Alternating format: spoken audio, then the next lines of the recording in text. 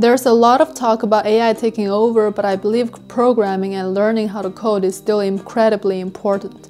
Most people are afraid that the market is full, but I believe that as long as you're passionate about it, you have a problem solving mindset, and you're creative, then you can beat most of programmers who are there just for the money.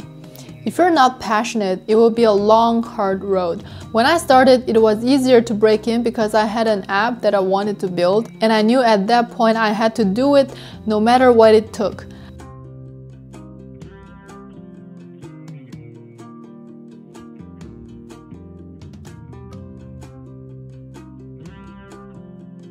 I loved it that much. Make sure you feel the same way. I think in the future, polyskilled people will be more and more valued since only knowing how to code will not be competent enough, with AI cutting down the entry barrier of most industries. There are no shortcuts, so you need to put in the work. You need to learn the basics like HTML, CSS, and JavaScript and get really good at them. It takes time and practice. AI can help you write code, but you still need to understand it. If you get tired easily, it might not be the right fit for you. You have to be persistent, willing to put in the hours and write a lot of code to master the logic and structure. By being passionate about programming and putting in the hard work, you'll find a lot of fun in life. You'll start thinking about everything programmatically.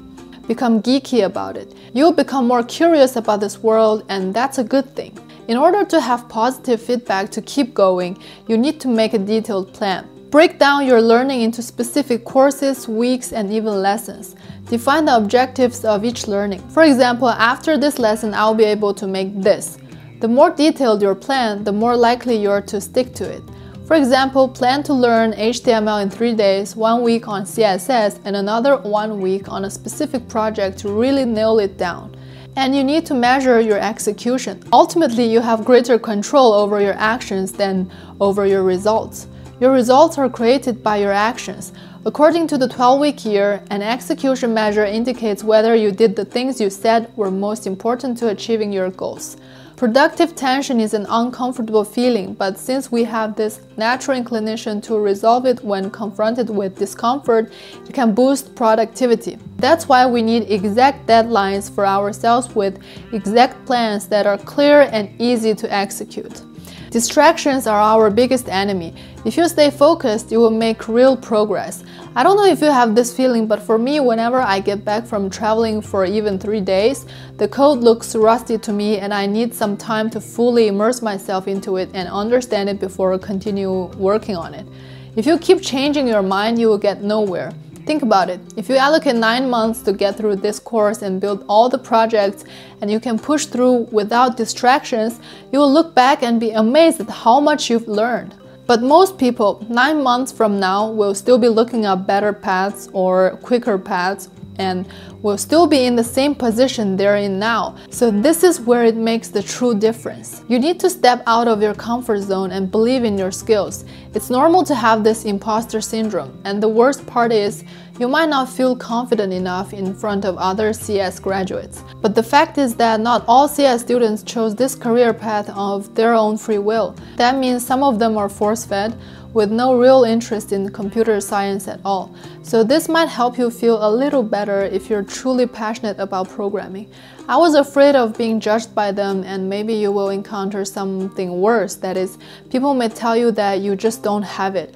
You're just not talented to do this. Like, if you've been studying this long and you don't get it, just go ahead and quit. Go try something else. But I always believe there are no bad students, only bad teachers. So if you're stuck learning to code, there must be something wrong the way you're learning it. And it's okay to fail a few times, it's part of the process. But you have to push through and believe that you've put in the needed time and understand the craft. Learning with AI is recommended, but only to use it as a teacher, not the nerd you hire to write all your homework. Focus on mastering the fundamentals on your own. This will give you a strong foundation and make you more valuable in the long run. AI can help you write code, but you should figure out the basic logic and structure and only let AI to do the dirty work. Learning to code is challenging, but it's definitely doable. It takes hard work, passion, and a solid plan. What do you think? Are you ready to give it a shot? Let me know in the comments.